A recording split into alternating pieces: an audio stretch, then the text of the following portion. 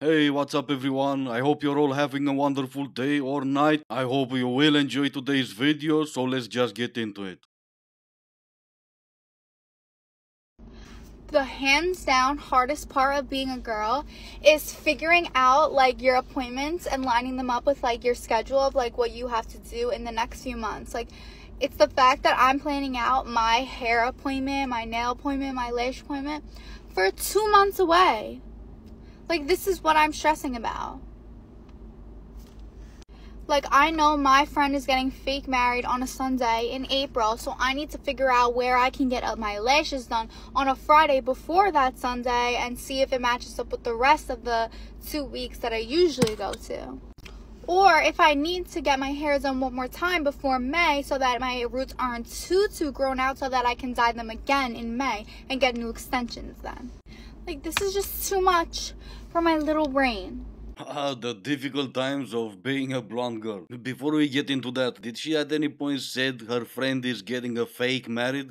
anyway, let's see. You pick up the phone, you call your hairdresser or your hairstylist, and you make an appointment for next month, let's say on the 14th. If you really like to hear yourself speak, that takes about maybe 5 minutes, let's say 10. The next well spent 10 minutes will be to call and make an appointment for your nails. Let's say that takes an hour of your day. What do you do with the rest of the time. Straight out, I have no dating life. I develop crushes very easily, like an instructor at my gym, um, the coffee shop guy near my place. Uh, it's, it's, yeah, I think I kind of do that to compensate for the fact that I have no love life but also at the same time I'm terrified to have a love life because I think about all the complications that come with that.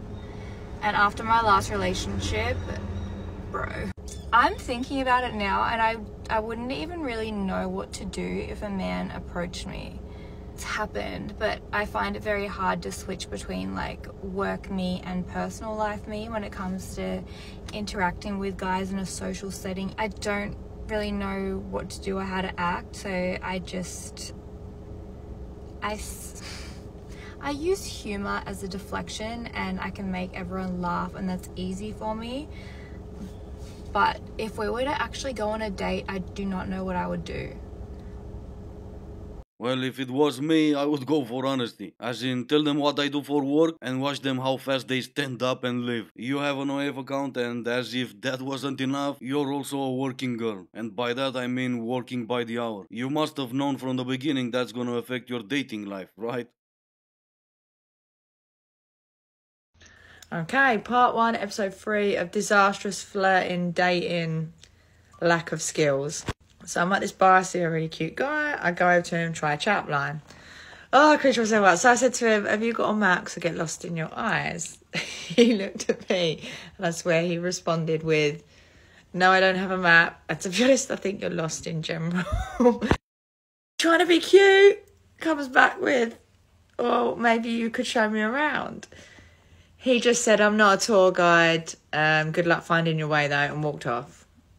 So I'm going to stick to the day job and give up with the professional tramp lines. Any any advice? Uh, no, you said it yourself. You should stick to your day job. I know I said usually you go up to a guy and 9 out of 10 times he's gonna say yes. Unfortunately, he was the one saying no. Sometimes guys do go to a bar just to mind their own business, enjoy a drink or two, and be there in their own head. And of course, if I wasn't trying to be polite, the other response would be, You're not everyone's cup of tea. And if I really wanted to not be polite, that was some lame pickup line. Is anybody else like really exhausted by dating apps? Because I know I am. I'm just tired of swiping, matching with the same people, saying the same things about myself, answering the same questions. And I know that's really contradictory because I know I've made videos before saying keep going on those dates, keep swiping because who knows this date could be your last. But I'm really exhausted. But then how else do we meet people? Does anybody actually meet at the gym? Has anybody ever actually had a really good meet cute from seeing somebody in a coffee shop or a grocery store or a restaurant? I don't know. Where do we meet people these days if it's not on dating apps? I need some help because I am I'm really exhausted. Where and how do you meet people? Well, not at that bar from earlier and not with that pickup line. Remember when this was a thing? Did you say something? Sorry. I couldn't I see you around the neighborhood all the time. Do you? and, oh my god, I'm appreciating you 24 7. Thank you. But I'd also like to give you the opportunity to appreciate you in person. because you're not dating. I am not seeing anybody. Yeah, that used to happen. In the meantime, you decided to yell at men to not approach you, and we have dating apps now. You're exhausted from dating apps?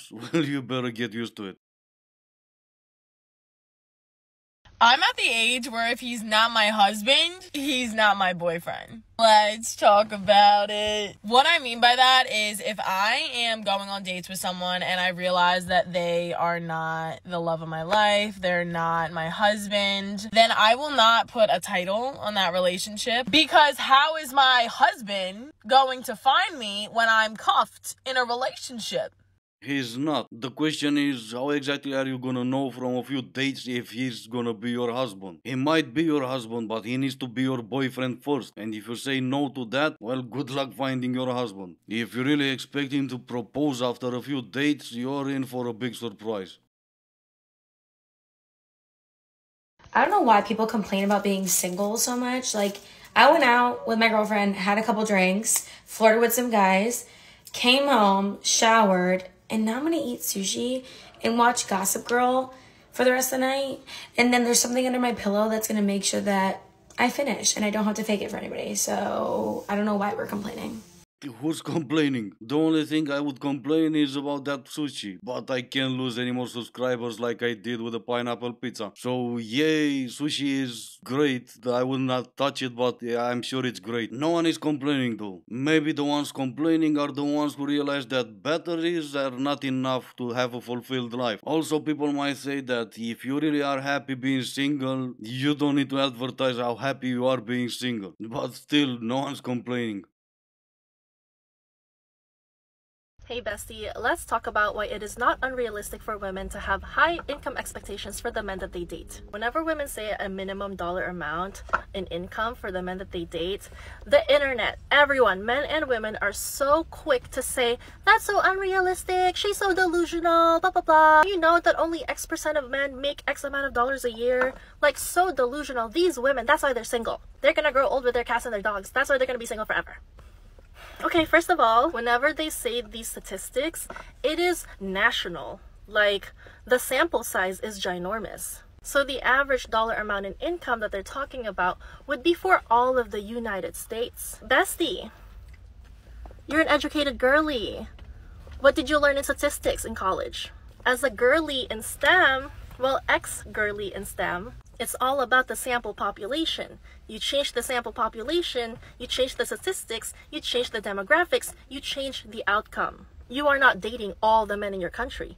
You are dating a select group of men who are most likely to be what you want. You are dating the statistical mean of that specific demographic. There will be no further explanations. Now get that bag, bestie. That's always the excuse when you have no further argument. The sky is yellow, I will not explain any further.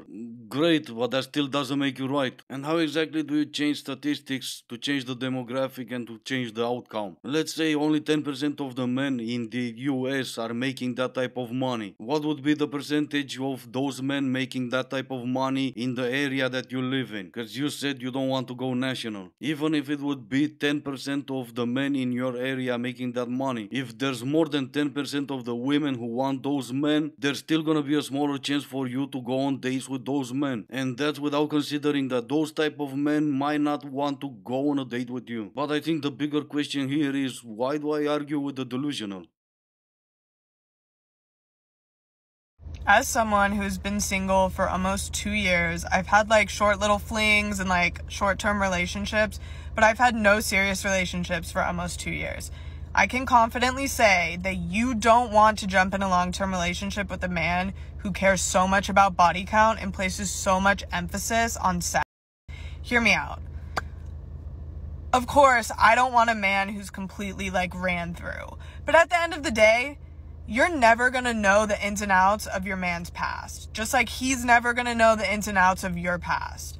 Plus, in my opinion, I don't think you should be sharing all of those intimate details with someone you're dating because the past does not matter.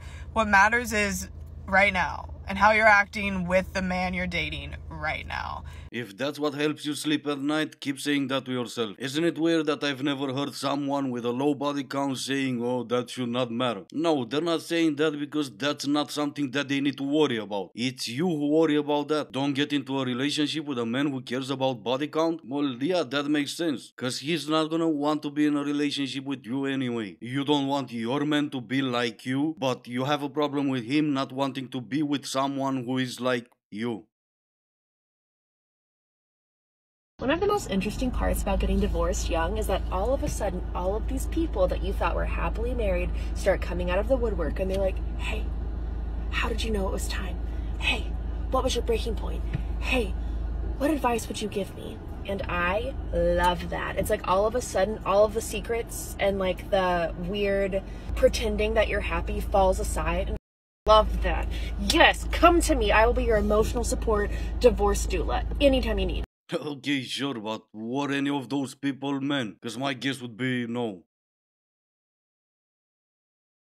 This is the new iPhone Max Long, and Apple created this for people that specifically have girlfriends that get pissed off for no reason and like to send essays. And that will be a phone no man will buy, ever. Anyway, this is gonna be the end of the video. As always, I do hope you enjoyed it. If you didn't, I still appreciate you for making it this far. Thank you all so much for watching, stay safe, and I will see you in the next one.